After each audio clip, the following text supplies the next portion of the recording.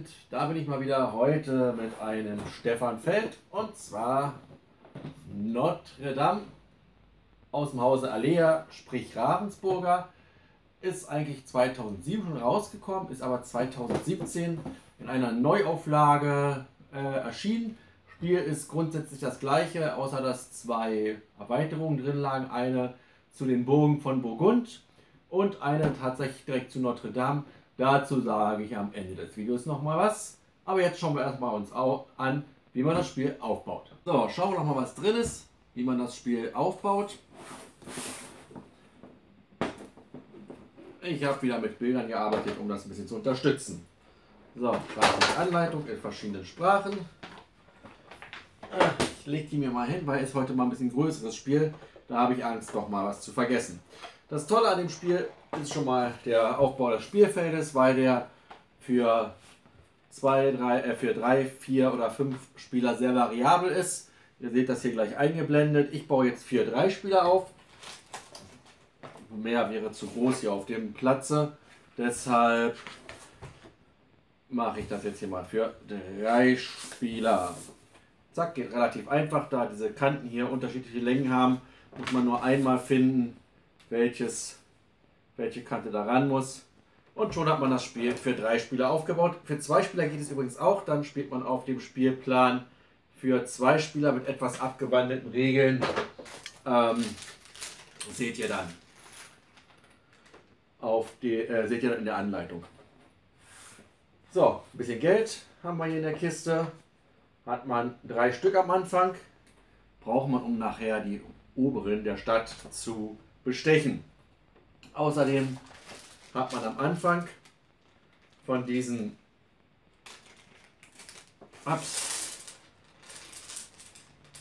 Einflussmarkern Schepper Klapper hat man am Anfang vier.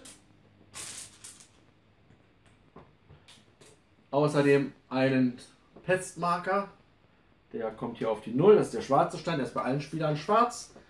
Ähm, und zu guter Letzt hat man noch hier so einen Gesandten, der ist schön flexibel. Und eine kleine Kutsche, die kommt mitten drauf. Jetzt fehlen mir nur noch diese vier Botschaften hier. Die mischt man und verteilt sie auf die eigenen Vierecken des Spielplans. Das tut jeder, sodass also dann in diesem Fall jetzt hier zwölf solcher Marker ähm, auftauchen würden. Das ist wichtig. Merkt euch das, das frage ich nachher ab. So, außerdem, natürlich, wie soll es anders sein? Bei diesem Spiel geht es um Siegpunkte. Wunderbar, hauen wir auch noch raus hier. Und ein kleiner Startspielerstein. Der Glöckner von Notre Dame soll das wohl sein. Ich mache mich zum Startspieler, um euch das Spiel erklären zu können. Dann haben wir hier noch einen dicken Stapel Karten. Die kommen später. Aber jeder kriegt hier so einen Satz von Karten, die verschiedenes können. Das erkläre ich gleich. Das gibt es in jeder Spielfarbe. Außerdem sind hier noch zwei andere Stapelkarten drin. Nämlich einmal mit so einer braunen Rückseite. Ich muss selber gucken. In der Anleitung steht graue und braune, aber ich musste sehr genau gucken, um festzustellen, was da grau und braun gemeint ist. Das ist jedenfalls hier die braune Rückseite. Da steht auch kein Buchstabe hinten drauf. Daran kann man das vielleicht besser erklären, äh, erkennen. Davon brauchen wir welche. Und da wir jetzt in Phase A sind, brauchen wir auch noch diese drei A-Karten. Das gleiche gibt es dann noch für B und C. Das Spiel läuft über 3x3 Runden, also 9 Runden. Dauert aber trotzdem so seine, was haben sie angesagt hier, Stunde vielleicht? Ja, 45 bis 75 Minuten hätte ich auch gesagt, das passt ganz gut. So. Ähm, als erstes, wenn man dran ist, muss man sich, äh, mischt man die Karten vor der ersten von den drei Runden, nimmt drei auf die Hand und ähm, darf sich aber von den dreien leider nur eine aussuchen. Die anderen beiden muss man weitergeben. Aber man kriegt ja von seinem Nachbarn auch wieder zwei Karten. Von denen darf man sich allerdings auch wieder nur eine aussuchen. Die letzte gibt man weiter. Aber man kriegt ja auch vom letzten Spieler nochmal eine Karte. Man hat dann alle drei Karten, von denen man aber leider nur zwei Aktionen pro Runde spielen darf. Man muss sich also jetzt auch noch entscheiden von diesen drei Sachen, die ich zur Verfügung habe, was nutze ich davon. Das ist einer der witzigen Spielmechanismen. Was kann ich denn überhaupt tun? Das möchte ich euch jetzt erklären. Indem ich das hier erstmal wieder ein bisschen zurück mache. So.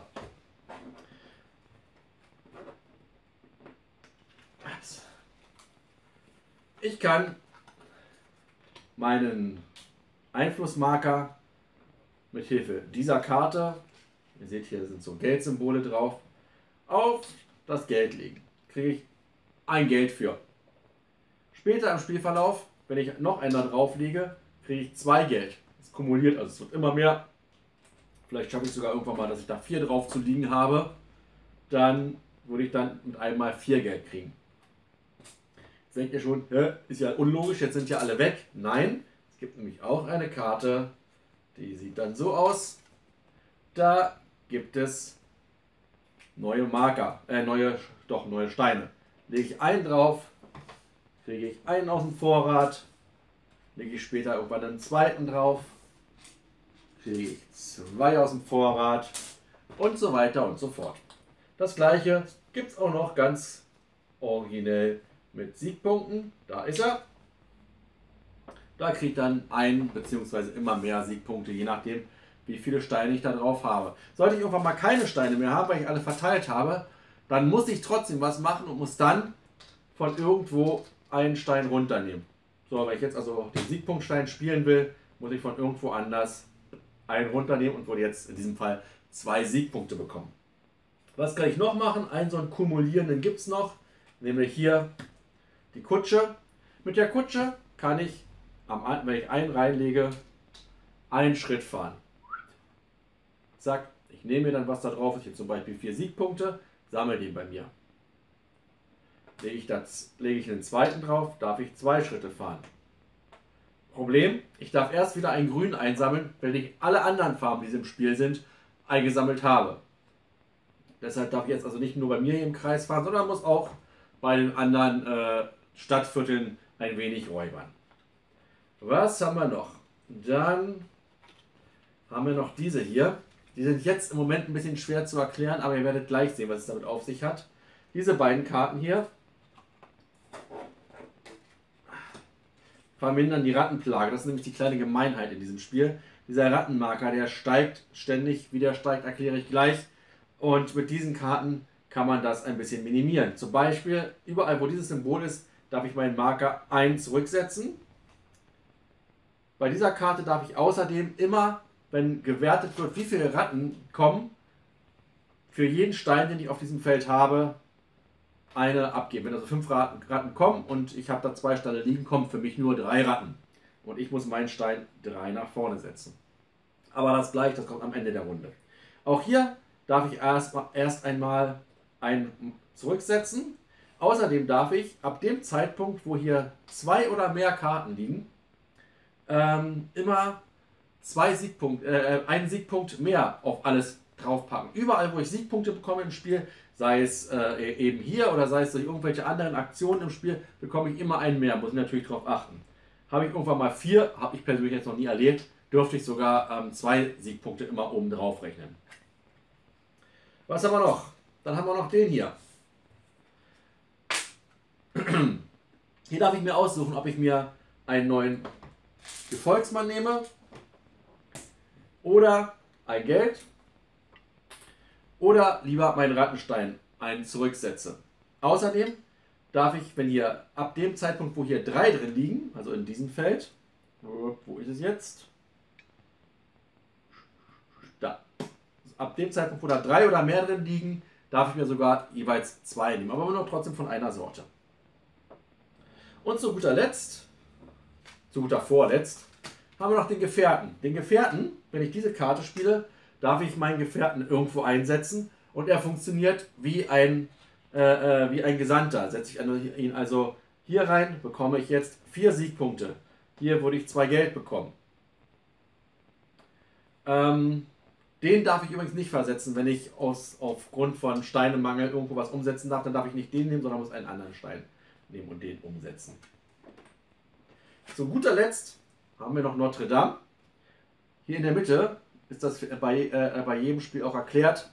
Äh, ich kann 1, 2 oder 3 Geld einsetzen, an Notre Dame spenden sozusagen und bekomme dann 1, 3 oder sogar 6 Siegpunkte sofort.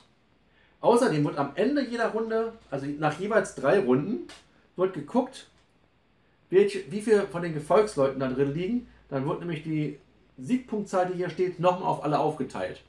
Also hier wären es jetzt, das ist jetzt ein blödes Beispiel, haben wir noch einen lilanen, äh, einen roten dazu. Hier sind jetzt vier Steine drin, acht Punkte ähm, dürfen verteilt werden. Das heißt also, Rot kriegt zwei, Lila kriegt zwei und Gelb kriegt sogar vier Siegpunkte nochmal am Ende der Runde A bzw. der Runde B, C. Also nicht nach jeder Runde, sondern immer noch nach drei Runden. Das seht ihr gleich, was ich damit meine. Keine Sorge. So, wenn das passiert ist, wir also diese zwei von drei Aktionen, äh, die wir machen durften, gemacht wurden, dann dürfen wir noch bestechen. Ich muss das jetzt mal ein bisschen zur Seite schieben. Normalerweise liegt das auch offen. Aber hier, das ist eben kein Tisch für zehn Personen. Es werden vor jeder Runde von diesem braunen Stapel zwei Karten aufgedeckt. Und von diesem Stapel eine Karte aufgedeckt. Das sind immer die drei, äh, das sind immer 3a, 3b und 3c Dinger. Man weiß also schon vorher, zumindest ab der zweiten Runde oder wenn man sich vorher die Karten mal angeguckt hat, was da so kommen wird. Ähm, bestechen heißt, ich gebe einen Taler ab und äh, darf dann das nutzen, was äh, mir derjenige gibt. Hier zum Beispiel, wenn ich, wenn ich den besteche, bekommt er, äh, bekomme ich zwei ähm, zwei Gefolgsleute aus dem Vorrat und noch einen Siegpunkt. Ähm, was die Leute alle genau können, ähm, ihr habt ja jetzt auch so ein bisschen eingeblendet gesehen, äh, lest in der Spielanleitung nach, würde jetzt glaube ich ein bisschen zu weit führen, das zu erklären. Wichtig ist allerdings, hier unten sind Ratten abgebildet.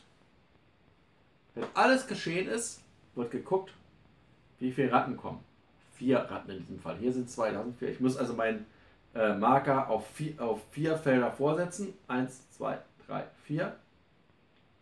Es sei denn, ich habe dieses Feld genutzt, wo es immer es jetzt verschwunden ist. Da natürlich habe ich jetzt gerade keinen Stein mehr drauf zu liegen. Schade, deshalb kann ich keinen abziehen und der bleibt da. Wenn der irgendwann mal auf die 9 kommt, huiuiuiui, ist die Szene ganz schön am Dampfen weil sobald er über die 9 müsste, bricht die Pest ein bisschen aus. Was für dich heißt, dass du den Stein auf 9 zurücksetzt und der bleibt da. Also der geht dann nicht auf 0 zurück, sondern der bleibt auf der 9. Und du musst aus dem, äh, aus dem Gebiet, wo du die meisten zu stehen hast, ein rausnehmen. Und zwar nicht in deinen Vorrat, sondern in den allgemeinen Vorrat zurücklegen. Das ist ziemlich doof. Ähm, so geht das immer weiter.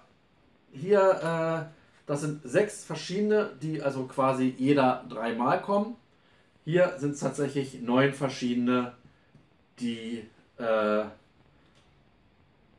die hintereinander wegkommen, die man dann irgendwann kennt. Nach 3x3 Runden endet das Spiel. Es gibt dann noch, es wird dann gezählt, wie viele Siegpunkte hat man. Und derjenige hat gewonnen. Ich räume jetzt ähm, nochmal kurz auf, um euch noch was für die Erweiterung zu sagen. Ach, wenn noch aufräumen immer so einfach wäre. Gut, noch kurz zu der Erweiterung, die in dem Spiel drin ist und vielleicht auch noch ein kurzes Fazit von mir. Wie gesagt, äh, im Grundspiel hat man sechs Karten, von denen ähm, zwei pro Runde bestochen werden können und für jede Phase A, B und C jeweils drei. Das heißt also, es sind immer die gleichen neun Leute im Spiel. Ähm, der Erweiterung Die Erweiterung, die in dem äh, äh Spiel aus dem Jahr 2017 jetzt drin liegt, ist so ein Stapel Karten und ist nichts weiter als nochmal sechs Leute pro Phase. Von, ne, sie sind auch wieder wie die anderen, stehen, sind auch alle gut in der Erklärung äh, erklärt und spätestens beim zweiten Mal erkennt man sie auch irgendwie, irgendwie an diesen Symbolen. Ich mag ja so Spiele mit Symbolen und weil es auf dem Spielfeld zu finden ist. Ähm, die Erweiterung benutzt man folgendermaßen. Man mischt einfach alle A-Karten, alle B-Karten,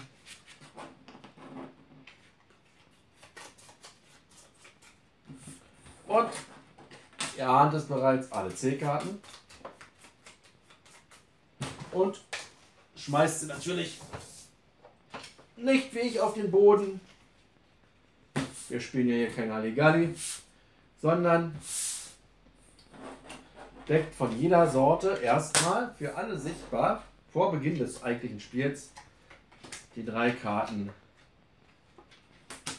die obersten drei Karten auf. So, es wird kurz besprochen, was diese drei Karten können. Und man spielt dann eben nicht mit den neuen vorgegebenen Karten, sondern macht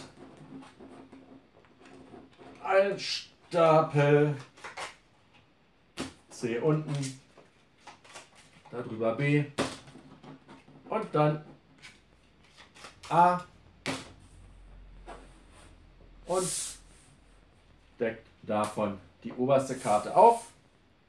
Und so geht es dann los. Die Leute können dann besprochen werden. Ich finde persönlich, diese äh, Erweiterung äh, fügt sich so schön in das eigentliche Spiel ein, dass ich die Karten einfach direkt zusammengemischt lasse und damit spiele. So, Notre Dame gefällt uns sehr gut. Gefiel uns auch 2007 schon sehr gut. Ähm, wir hatten es noch nicht, haben es jetzt gekauft.